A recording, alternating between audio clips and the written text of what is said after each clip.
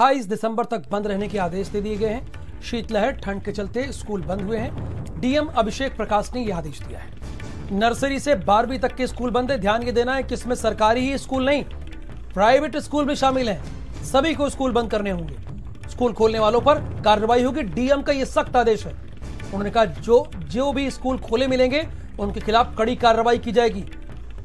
यानी 27 और 28 आज 26 है, आज स्कूल खुले थे, लेकिन जिलाधिकारी अभिषेक प्रकाश ने देखा कि ठंड बहुत है। शीतलहर है, बच्चों को आने में प्रॉब्लम होगी, इसलिए उन्होंने 27 और 28 तक का ऐलान किया है कि 28 दिसंबर तक स्कूल बंद रहेंगे। कोई कंफ्यूजन नहीं, नर्सरी से बारहवीं तक के स्कूल इसमें बंद रहने का आदेश उन्होंने दिया है। इसी पर आधारित